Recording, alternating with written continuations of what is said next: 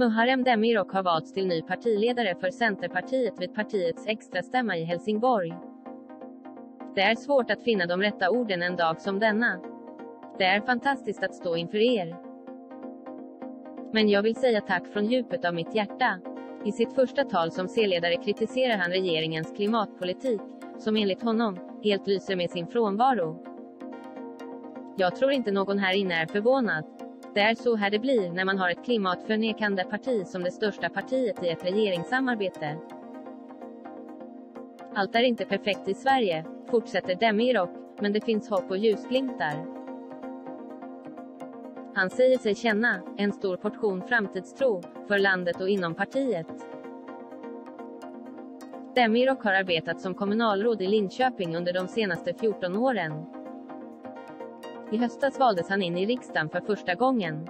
Under extrastämman valdes också Daniel Bäckström till första vice partiordförande och Ulrika Liljeberg till andra vice partiordförande.